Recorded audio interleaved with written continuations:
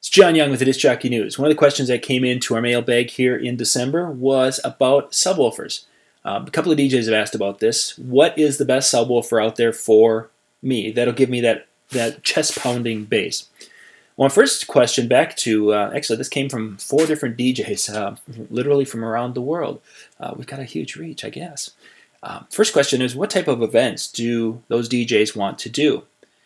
Almost two, uh, I think all of them replied that their their goal was they wanted to do like backyard parties. They wanted to do you know maybe a sweet sixteen, and but basically they wanted to be a wedding DJ. Well, in the in the world of subwoofers, of course, there's many different types, and there's huge, small, whatever, whatever.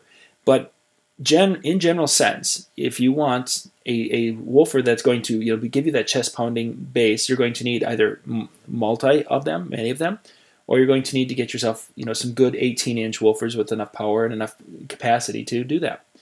But we're talking weddings. Let's look at a wedding. A wedding, you're going to have a lot of people who are over the age of 40.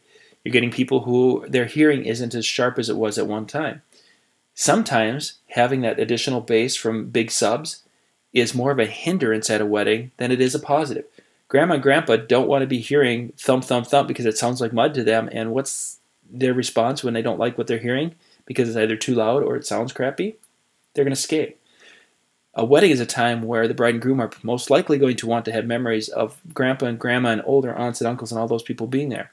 So maybe looking at the big chest pounding bass, well, it might impress DJs, might not be your best option. Maybe you're looking instead at a 15 or maybe 12.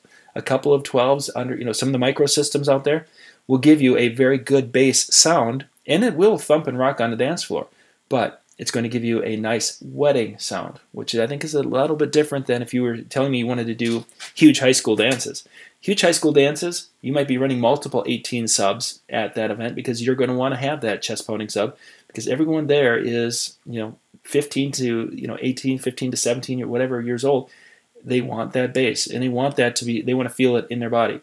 But if you're a young DJ and you're headed to weddings, you're the only one that wants the, the chest pounding bass. The rest want good sound. They want to be able to hear your microphone, and they want to have a good time without the rumble mumble and yeah. So that's my words for subs. Get the subs you need for your event. This is John Young with the Disc Jockey News.